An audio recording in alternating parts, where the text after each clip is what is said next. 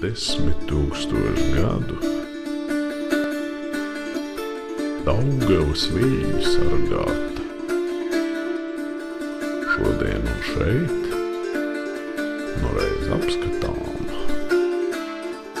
Noslēpumainā. Augura. Es, es, brīnos, ka viņa, ka viņa izdevās tomēr dabūt no Daugavas zelmes ārā un taisni tagad. Un ka tas ir, nu, ka viņa ir praktiski neskarta desmit tūkstoši gadus, vai ne, un arī strādā.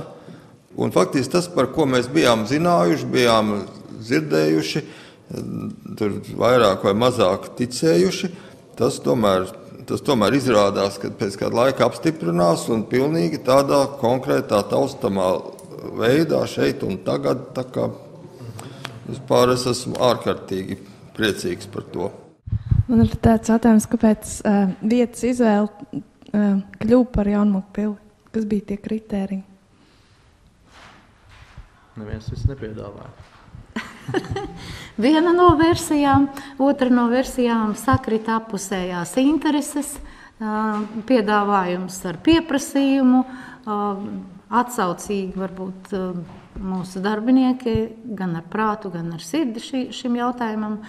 Un, es domāju, ka, lai strādātu ar zīmēm, ir jābūt gan garīgi izglītotam, gan jau ar zināmu izpratni par to, kas es esmu, kādas vērtības ir ā, manī un varētu būt arī atklātas citos cilvēkos. Latvijā ir bijušas dziļas tradīcijas, izkoptas tradīcijas, kuras mēs, diemžēl, nezinām. Mēs esam aizmirsuši. Jaunās paudzes pa- vispār nemaz nav informētas par tādām lietām.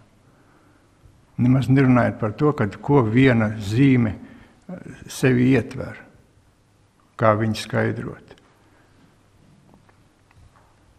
Nemaz nerunājot par tādu salikumu kā lielvārds josta.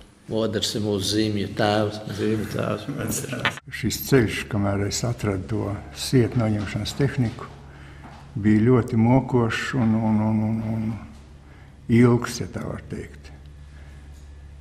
Nepārtraukti meditējot, pār, pārzīmējot, skatoties jostās, es pēkšņi atklāju tādu priekš manis vismaz vienkārši saprotamu lietu, ka ir vietas jostā, kas atkārtojās un kas nemainās. Un tā radās tas siet, un kad noņem to sietu, tad apakšā paliek tas, kas veido to zīmi. Tas, kas veido šo atšķirību. Jā. Mums tagad ir jauns kompjuters, ja mēs tad, mums ir katram šī tāda pērlīte rokās. Un mēs tagad skatāmies un mēģinām, mēģinām tās senās zināšanas atkal iegūt un atkal lasīt. Atkal mēģinām- modernā veidā, vai ne? Viņas ar modernu tehnoloģiju palīdzību Modernā. darīt eh, zināms eh, plašākā lokam. Un mēs skatāmies tā kā kristāla bumbā, tajā augurā, vai ne, kur parādās ugunīgas zīmes, kā mēs sakām, no seniem, seniem laikiem, no senām, senām civilizācijām, no kurām mēs iespējams ka varam daudz mācīties. Mēs nezinām, bet mēs mēģinām atrast ceļus uh, caur vērtībām, kas, ko, ko, mē, ko mēs saprotam, jeb ko mēs mācāmies saprast, caur valodām, ko mēs mācāmies lasīt, caur geometriju, caur šo kosmosa doto valodu. Īstenībā tas ir tā, ka mums pašiem, ja mums pajautā, kā augura darbojās, ja, vai, vai, vai, vai, vai ko, viņi, ko viņi dara īstenībā, kas tas ir. Ja.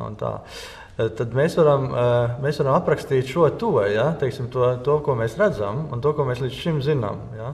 Mēs varam arī aprakstīt to, ko mēs iedomājamies, ko viņi vēl varētu darīt. Ja. Bet, nu, teiksim, Mēs nevaram iet teiksim, ļoti, ļoti tālu tādos minējumos. Ja? Daži minējumi mēs domājam, ka varētu apstiprināties. Daži no tiem mēs vēl šaubamies ja, par to, kā tas tālāk var izskatīties. Tas, kas ir šodien, ja, un redzams uh, arī šeit, um, šajā pilī, vienā no istabām, ir uh, šī augura. Mēs viņu varam apskatīt, mēs varam ieraudzīt. Uh, lietas, un, un katrs mēģināt saprast, kas tas ir. Tāpat kā mēs? Mums vienīgi ir tā iespēja drusku pamēģināt, jau bijusi? Kā, ko, kā, kā viņi darbojās un, un, un ko viņi iespējams dara.